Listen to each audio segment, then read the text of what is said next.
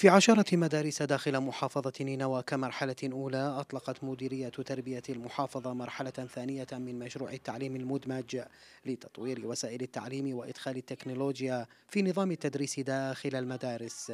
نعمل. من تشمل كافه مدارس نينوى في آه، موضوع التعليم المدمج. آه، اليوم التعليم الورقي ليس كافي. بالتأكيد هناك آه، في بعد توزيع هذه التابات على طالباتنا وطلبتنا الأعزاء كان هناك جذب للطالب نحو المدرسة وبالتأكيد هناك لتقليل التسرب في المدارس. باستخدام الأجهزة اللوحية والسبورات الذكية يؤدي الطلبه والتلاميذ ويتلقون دروسهم. ضمن منهاج التعليم المدمج تمهيدا لتعميمه على جميع مدارس المحافظة. بتطبيق برنامج التعليم المتكافئ المدمج الدمج بين التكنولوجيا المعلومات واللوحة والكتاب. وكان له نتائج آه، مرضية في مدرستنا بعد تطبيق المشروع. فقد ارتفعت نسب النجاح.